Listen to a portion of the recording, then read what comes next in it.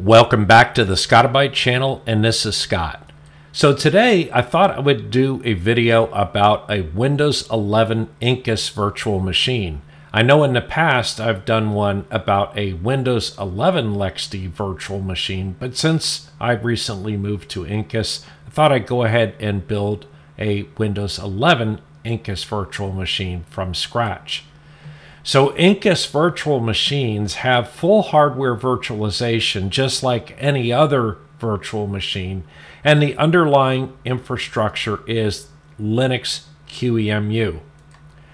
So only Linux distros can run in an Incus container which uses the host Linux kernel, and that's why our Incus uh, Windows 11 needs to be an Incus VM and not an Incus container. So most Incus VMs are launched from existing images just like Incus containers, and that's one of the nice parts about using either LXD or Incus that you don't have to wait for an installation because you're normally launching from an image. But we can create a Windows 11 Incus virtual machine by building the image manually, and the reason we have to do that is because there is no such thing as a pre-built Windows Incus virtual machine. So let's go see how this is done. Before we begin our installation, we want to go over to Microsoft.com forward slash software dash download forward slash Windows 11.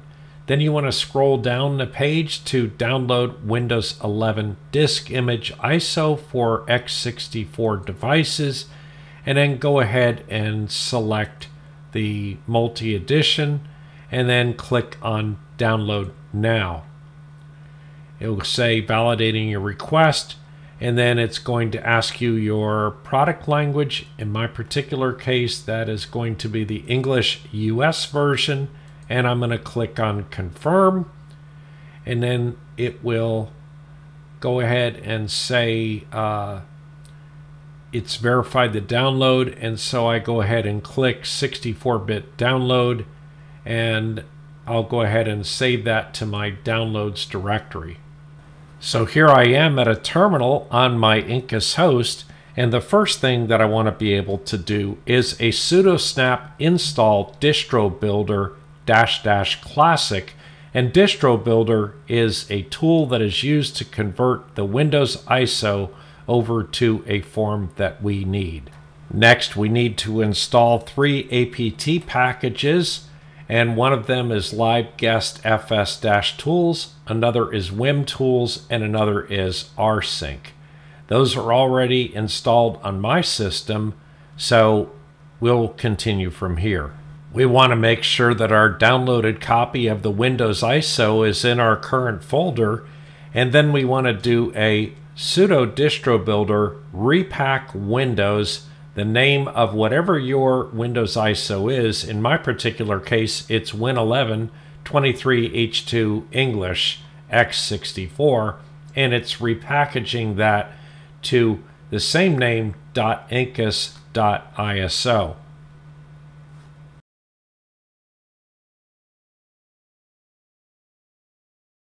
Now that distrobuilder is complete, I'm going to create an empty Incus VM and I'm going to name my machine Win11VM and the reason for that is because I already have a machine named Win11. By default, an Incus VM will have a default disk size of 10 gigabytes. So we're going to go ahead and change that with the Incus config device override Win11 VM root size equals 85 gigabytes. Now something of note here is you want to make sure that your storage pool is large enough to fit whatever size you indicate here. So if your Incus storage pool is too small, you need to go out and enlarge it. And you can look up my LXD routines where I explain how to do that because the command is pretty much the same except using the Incus keywords. So here we're overriding the size of that empty VM and we're setting it to 85 gigabytes. Next, we want to set the resources for our virtual machine. And here I have an Incus config set Win11 VM, and I'm going to give it four CPU cores, and I'm giving it eight gigabytes of memory. Next, Windows requires the Trusted Platform module, and so we're going to give it a virtual TPM, the Trusted Platform module that Windows requires. And so here we're doing that. Next, we have to specify the installation ISO that we created with distrobuilder. And so we do an incus config device add Win11 VM, the name of the machine, the install disk, and here you have to provide the complete pathway. In my case, it's slash home slash Scott Win11 underbar 23H2 underbar English underbar X64 dot incus dot ISO.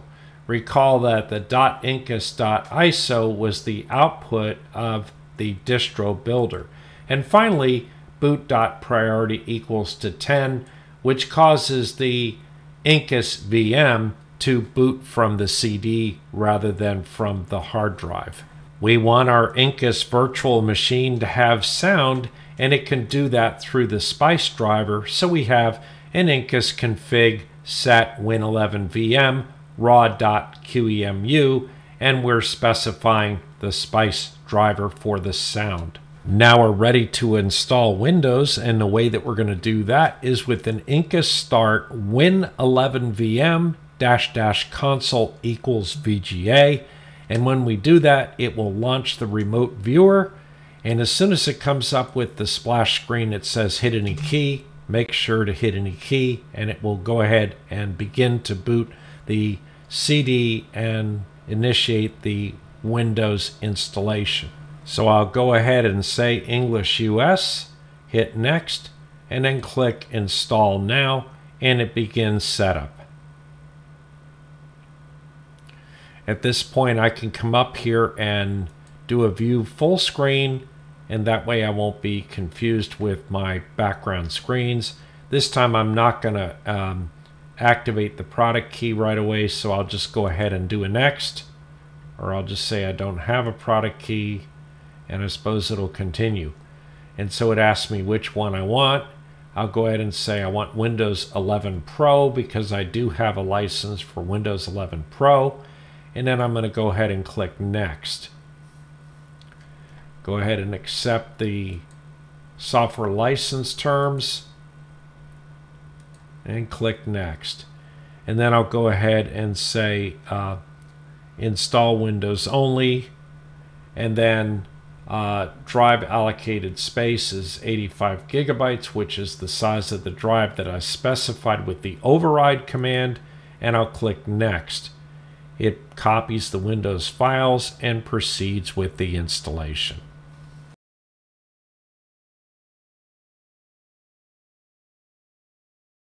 At this point, it was going to go ahead and do a reboot, and that will drop you out of the remote viewer. So what you need to do is in Incus console, win11 VM dash dash type equals VGA, and it will bring the console back up, and you'll be able to see the installation continue. At this point, I'm going to go ahead and pop into full screen mode again. At this point, it dropped back out, so I'm going to do another Incus console win11 VM dash dash type equals VGA, and it goes ahead and comes back up. As you know, Windows does several reboots during the process of installation. Now we get to continue with the installation dialog. So I go ahead and say yes, I'm in the US. And yes, the US keyboard is what I want. No, I don't want a second keyboard layout. It goes out and checks for updates. And now another reboot. This time we don't hit the key to continue because we don't want to boot from the CD, we want to boot from the hard drive. Now I get to name my machine. I'm going to name it Win11VM and click Next. Once again, I have to go back in and it's booting up again. I'm going to select Setup for Personal Use and click Next. And then I'm going to go ahead and click Sign In. I don't really have a Microsoft account, nor do I want one, so I'm going to go ahead and type in no at thankyou.com and I'm going to click next. And then for the password, I'll just type in whatever. It doesn't really matter.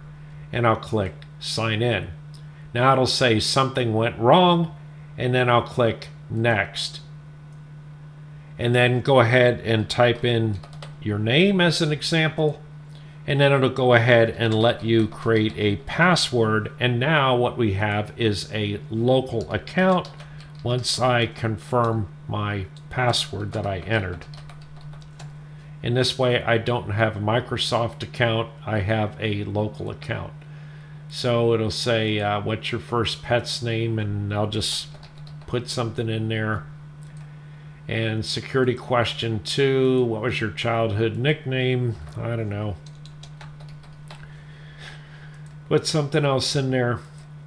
And then what was the name or, or city where your parents met? boy, one, two, three, four is really common here. And I click next. And now I have a local account. Choose the privacy settings. Sure, I want Microsoft to know where I am and I want to be able to find my device and all that. You can turn these things off, but since this is a demo machine, I'm just going to go ahead and leave it alone. I'll go ahead and click accept.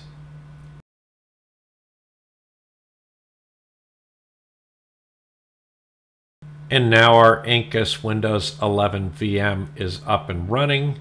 We can go ahead and come over here and look at a number of things. Uh, we can go into computer management as an example. And we can go to device manager. And you can see that there's a whole bunch of PCI devices that are not recognized.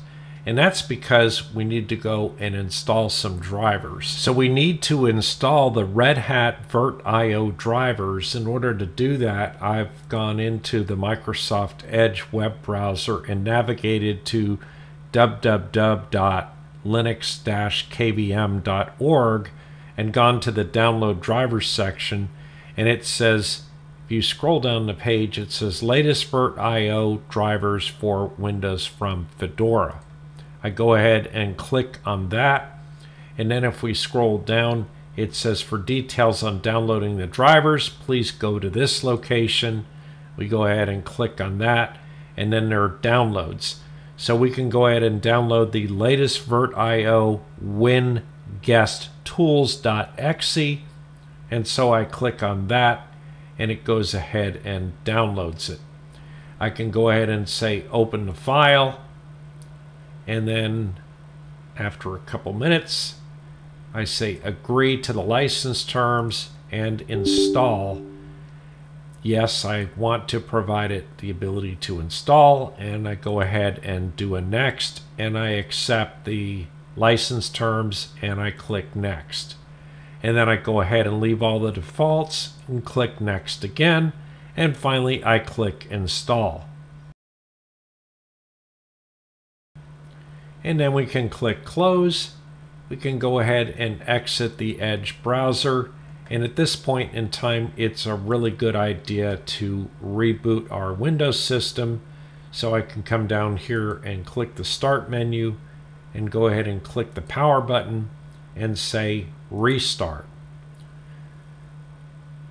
When I click Restart, again, it's going to exit the Virt Viewer and go back to the terminal and I just do another Incus console win11 VM dash dash type equals VGA and then I'm going to go up here and do a view full screen again and it should boot my Windows up.